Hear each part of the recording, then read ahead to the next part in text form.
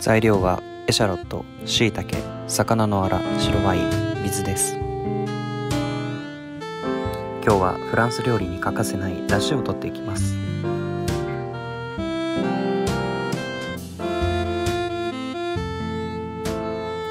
まずエシャロットとしいたけを薄切りにします。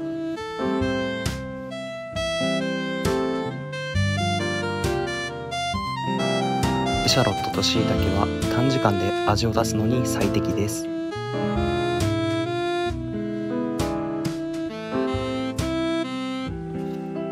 野菜を切ったら空の鍋に入れます。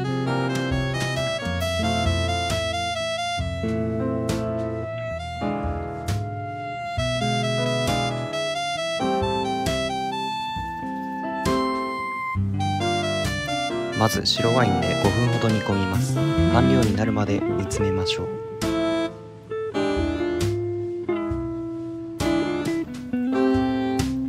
白ワインは魚との相性が良いのと臭み消しのために使います。鍋に油をひいてエシャロットが透明になるまで炒めます。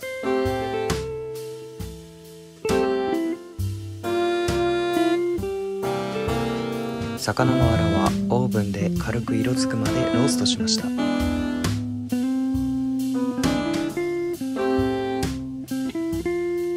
鍋に魚のアラを入れて水分がなくなるまで炒めます。魚は火を入れすぎると臭みが出るので素早くやるのがポイントです。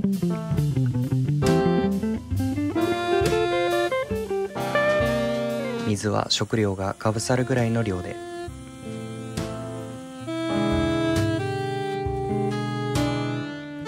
その後水を加えて沸騰させアクを取ります。アクをしっかりと取ることで澄んだ綺麗な出汁を取ることができます。この出汁は時間をかけすぎると魚の臭みが出るのが注意です。煮込む時間は30分を目安にしてください。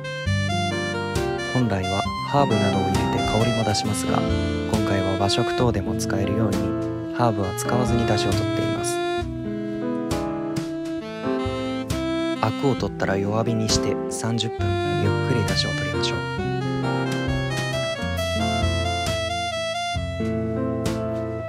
仕上がると濃すぎず薄すぎない出汁が出来上がります。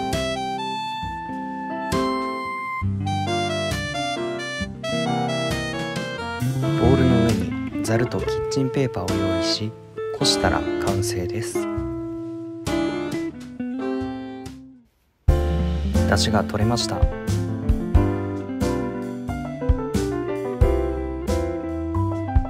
さまざまな料理に使えるのでぜひ一度お試しください。最後までご視聴いただきありがとうございます。チャンネル登録高評価はしなくて大丈夫なのでよかったら他の動画も見ていってください。